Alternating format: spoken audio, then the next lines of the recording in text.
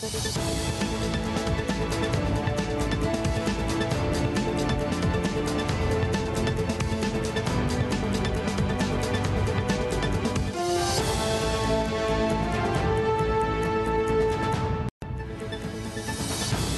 вечер с късните новини по света и у нас. Аз съм Галя Крайчовска.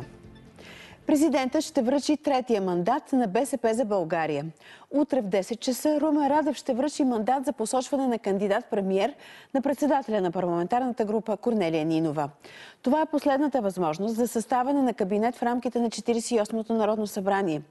Преди дни вице-президентът Илияна Йотова коментира, че третият мандат би трябвало да отиде при партията, която ще продължи политиките, заложени от служебното правителство. Какви са нагласите на парламентарните сили? Ирина Цонева обобщава.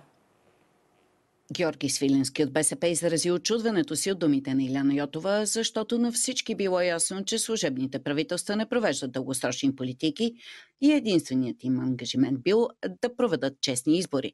Коментира още, че от самото начало след последния вод било ясно, че действията на всички партии са насочени към третия мандат. Беше ясно, че с първия и втория правителство не може да бъде съставено поради раздробения парламент. Сега отговорността е от няколко часа при нас. Ние ще положим всички усилия България да има редовно правителство. От кого очаквам подкрепа? От всички тези, които през всички тези месеци твърдяха, че България трябва да има правителство, че България трябва да има работещ парламент, че България трябва да има бюджет и аз съм умерен оптимист. Лидерът на ГЕРБ Бойко Борисов вчера прогнозира, че мандатът ще бъде даден именно на БСП, но припомни, че изпълнителната комисия на партията е взела вече решение да не подкрепи левицата. Десислава Атанасова отново повтори позицията на партията, че желанието е било мандата да отиде при Демократична България, защото именно там виждали най-голям шанс за успех. Президентът защо реши да връчи за четвърти път на БСП мандат. Аз не мога да гадая. Само бих казала, че така шансовете според нас за правителство намаляват много сериозно. В този смисъл за ГЕРБ поне е, всичко е ясно. Мандат отива при ваш бивш коалиционен партньор. Доволни ли сте от това? Ще подкрепите ли правителство с мандата на БСП? Те първа ще седнем на разговори с БСП. Предполагам, разбира се, че ще ни поканат на такива. Вече първо ще трябва да се обединим около политики. Чак тогава ще може да говорим конкретно за подкрепа. Минчев отново каза, че темите за изпорния кодекс и военната помощ за Украина остават сред сериозните разделителни линии между двете партии. Една прогноза. Ще бъде ли успешен този мандат последен? С оглед заявките на политическите сили до момента, изглежда, че този мандат доста, доста трудно ще бъде реализиран. Минчев допълни, че се надява скандалът с Нексо да не е повлияло за това демократичен България да не получи мандата, защото казусът според него бил измислен. Ивайло Мирчев от Демократичен България обаче е убеден в негативното влияние на този скандал. Двете акции на едното срещу нашия депутат Албена Симеонова и другата по скандала Нексо се проведоха точно в момента, в който стана ясно, че Демократична България, след като представихме ясен план, има голяма възможност да получи третия мандат. Кой защо според вас има а, необходимото желание да не вземете този мандат? Някой, който не иска да има е, реформа в прокуратурата. И ние точно това направихме. Направихме ясен план, с който ясен план а, показахме, че няма да отстъпим и няма да правим исторически компромис с реформата в а, конституционната реформа в прокуратурата. Според Рамадан Аталай от ДПС, аргументите на президента са, че БСП ще е унази политическа формация, която ще предложи приоритети, които да са в защита на националните интереси на България. Очакваме, ако ни поканят на разговори, ще седнем на масата, но съм убеден, че едно редовно правителство, което би трябвало да се създаде в България е необходимо и БСП трябва да положат всички усилия. А вие ще ги подкрепите? Смятам, че ДПС няма да сме причината за да няма редовно правителство. От партия Възраждане, знаете, многократно се заявявали вече, че няма да подкрепят ничи друг мандат, освен техен. Сочените за възможен фаворит пък за последния мандат партия Български възход изразиха писмена позиция, в която казват, че биха участвали в разговори за съставяне на мнозинство, ако бъдат поканени. Настояват обаче за коалиционно споразумение с ясно разписани отговорности и механизми за взимане на решения и пожелават успех на БСП като мандатоносител. По Конституция, след утрешното връчване на мандата, няма срок, в който БСП да предложи премьер – Различни са обаче тълкователните становища за това, след като бъде излъчен, с колко време разполага кандидатът за министър-председател, за да предложи структура и състав на кабинет. Срещу политизирането на случая Нексо се обяви заместник директорът на Националното следствие Ясен Тодоров.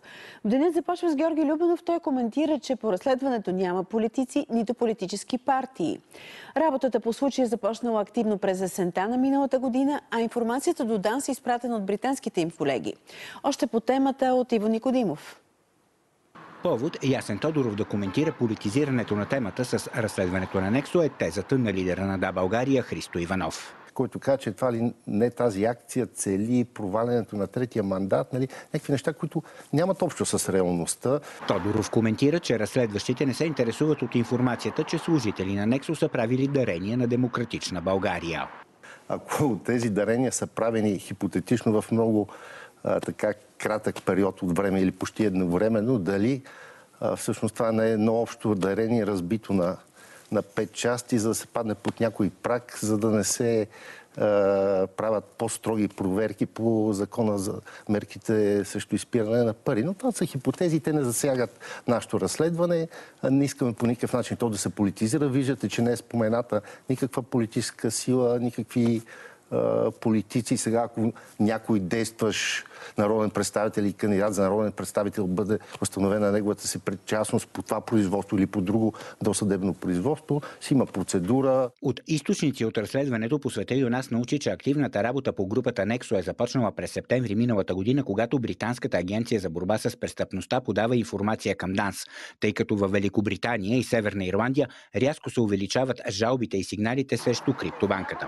На острова започва разследване, а един от основните свидетели е учредител на Нексо Нексо, който е напуснал компанията още през 2018 година. Такава информация постъпва при нас, почват подготвителни действия с помощта на нашите партньори, които ни предоставят така сериозна логистична помощ, включително и необходимата техника, с която не разполагахме доскоро. Предоставените компютри и софтуер позволяват на разследващите да следят транзакциите на криптобанката в реално време. Според наши източници, през есента на миналата година британското финансово разузнаване установява, че от компанията собственик на Nexo започват масово да се правят транзакции към швейцарски банкови сметки в евро, долари, британски лири и швейцарски франкове, за които оперативната информация сочи, че са на двама от основателите.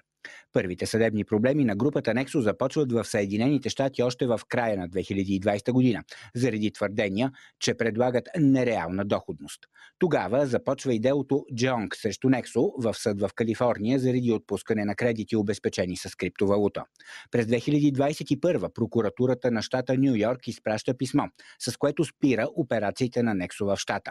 А през септември 2022 главният прокурор на Нью Йорк започва съдебно производство срещу компания компанията с обвинение в нелицензирано банкиране и не спазване на оперативната забрана. Преди повече от година в първо в щата Нью Йорк, след това в още 7 американски щата, прокуратурата почва разследване срещу Нексо за финансови, незаконни финансови операции, измама на инвеститори.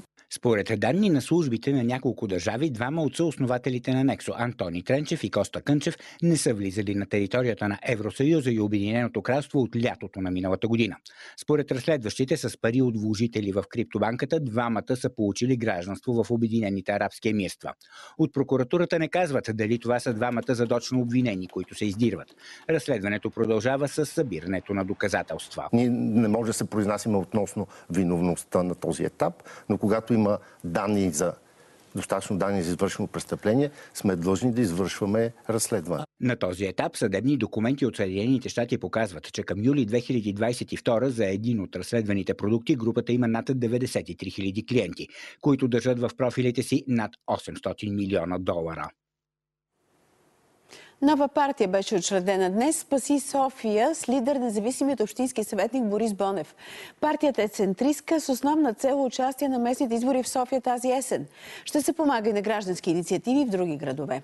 За сега партията няма да участва в парламентарни избори. Вече са започнали разговори за обща кандидатура за кмет на столицата с продължаване промяната и демократична България, тъй като според Борис Бонев е необходим обединен фронт срещу ГЕРБ. Целта е общият кандидат да победи избранника на ГЕРБ още на първия тур. Разговорите обаче са в начален етап и не е ясно дали именно Бонев ще е този кандидат. Протест пред посолството на Иран в София с искане да се спрат екзекуциите на протестиращи срещу режима в Исламската република. Според активисти, най-малко 16 души са били осъдени на смърт по време на закрити изслушвания, свързани с протестите. Хиляди са арестуваните. Протестите в Иран продължават вече четвърти месец. Те започнаха след смъртта на 22-годишната Макса Амини, арестувана от иранската морална полиция. Протеста навсякъде е разрушено. Но, за съжаление, в Иран ги фащат и ги екституират. Почти до сега имаме 4 човека, млади момчета от 22 години, 30 млади момчета са ги екзекутирани в Иран. Искаме вече да спреме. Вече на 21 век сме, искаме свобода. Не искаме диктатура, не искаме законите по исляма. Расте броят на жертвите на руския ракетен удар поразил жилищен блок в Днепър. Украинските власти съобщават, че убитите са над 30. В неизвестно са близо 40. Кметът на Днепър оценява шансовете за откриване на още оцелели като минимални. Във връзка с сраженията за Соледар, руският президент Путин увери, че всичко върви по плана на генералния щаб. Украина твърди, че съпротивата при Соледар продължава. Киев може скоро да очаква повече доставки на тежко оръжие от западните страни, обяви генералният секретар на Renatu Jens Stoltenberg. Вледеняващ студ скова руския далечен изток. Очаква се в някои райони термометрът да падне до минус 62 градуса. Днес в Якутск температурите паднаха до минус 50 по време на дълго застудяване в Сибирския град, известен като един от най-студените на земята. Якутск е разположен на 5000 км източно от Москва. Жителите му често виждат живакът на термометрите да пада под 40 градуса под нулата, а сега се очаква и с още 20 градуса надолу.